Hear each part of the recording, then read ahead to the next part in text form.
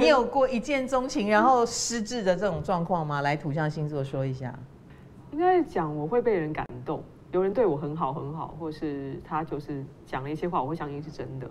可是即使之后不是真的话，我也会感到难过，就是那种情感上的反应我都会有。可是。也是会想办法把他的理性从从这那那种感情中这样再脱离出来，伤心难过。你你还是个人类就是当然是个人类啊。但是他就是土象星座的反应，这样知道吗？他不像我们水象星座，我们水象星座先把情绪发泄出来再说。你怎么可以这样对我？然后等到你先道歉了，我情绪被安抚了，我们再来好好坐下来讨论说，哦，刚刚你为什么这样讲？哦，原来你这样讲是有原因的哦。我们其实也是理性的啦，但是理性是站在情绪的后面啊。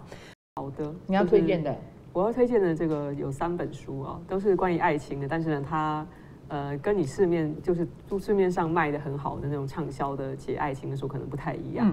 它第一本是这个台大社会学教授孙中信写的《学者好好爱》。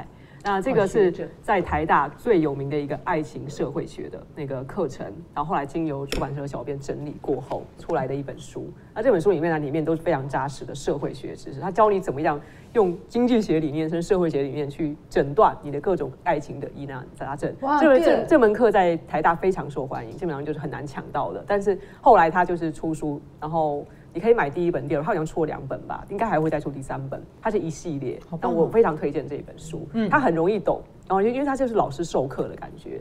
但是因为出版社啊，或是那个他的那个 PowerPoint 的那个图文都有去解释，所以也不会算说很硬邦邦的，其实还蛮好理解的。那还有另外两本呢，是英国的一个才子作家，叫做艾伦·迪波顿，他写了两本书，分别是《婚前婚后》，一本叫做《我谈的那场恋爱》。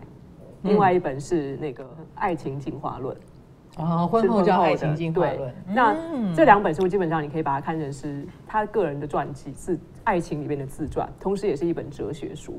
他其实是在探讨说爱情的我们的每一个阶段的意义，我们为什那时候的心理状态，我们为什么会那样想，我们为什么会如此的盲目，然后最后为什么爱情走到一个阶段的时候，我们又开始麻木了，没有办法对对方产生热情了。他是用那种呃比较。心理学跟哲学的角度去剖析，那也是作者对自己回头过去，他在看自己的感受，他把自己的那些悟出来的道理再分享给大家。那这两本这两本书呢，其实文词都非常的优美，因为艾伦·迪温顿他其实他同时也是诗人，所以他写的东西呢是，就算你好像看不懂他在说什么，可是你可以欣赏他的文字，会让人会有一种你可以慢慢的去体味那样子的嗯的感觉。这三本书都很好看。